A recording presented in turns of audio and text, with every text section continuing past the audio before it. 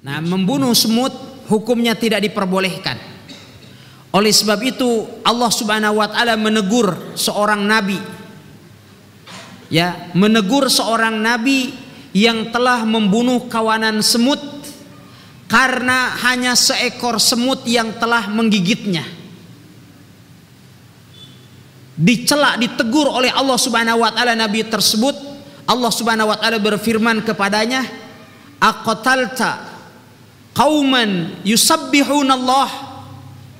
Apakah kamu membunuh suatu kaum yang senantiasa bertasbih kepada Allah? Yang dosanya cuma sendirian kok kamu bunuh semuanya. Dicela oleh Allah Subhanahu wa taala nabi tersebut. Dan Nabi Ali salatu wasalam telah melarang kepada kita sekalian untuk membunuh semut. Di dalam hadis ada empat binatang uh, yang dilarang oleh Nabi Ali Shallallahu Wasallam ya untuk dibunuh.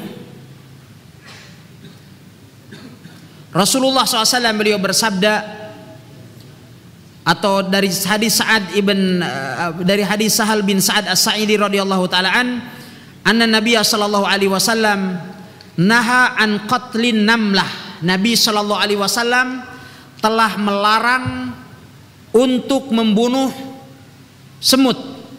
Ya. Atau di dalam riwayat yang lain naha an qatli khamsah. Rasulullah melarang untuk membunuh lima binatang. Pertama adalah an-namlah semut. Yang kedua adalah an-nahlah.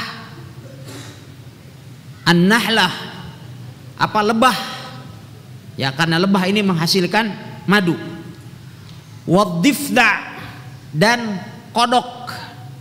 Ya katak. Kemudian wasard dan burung sard. Kemudian wal hudhud dan burung hudhud. Jadi ada lima jenis hewan yang dilarang oleh Nabi Ali Shallallahu Wasallam untuk dibunuh. Oleh sebab itu lima jenis hewan ini juga diharamkan Ya, jadi kaidahnya adalah hewan yang diperintahkan untuk dibunuh atau hewan yang dilarang untuk dibunuh juga hukumnya haram. Oleh sebab itu tidak boleh kita makan sate suike. Ya, kalau di Jawa banyak ya. Ada rumah makan suike. Nah, suike itu apa? Katak. Ya, itu tidak boleh haram hukumnya. Ya, dan di antara yang dilarang oleh Nabi SAW adalah an-namlah. Kecuali Jikalau semut itu adalah semut yang mengganggu, seperti semut yang ada di rumah kita, misalnya menggerogoti ya kayu, ya atau me, me, mengkonsumsi makanan yang kita miliki, maka ini adalah bagian dari daf'us sa'il, bagian dari menghilangkan atau menolak bahaya yang mengancam kita diperbolehkan oleh para ulama mereka mengatakan boleh kita membunuh semut tetapi jangan dengan menggunakan api. Ya boleh.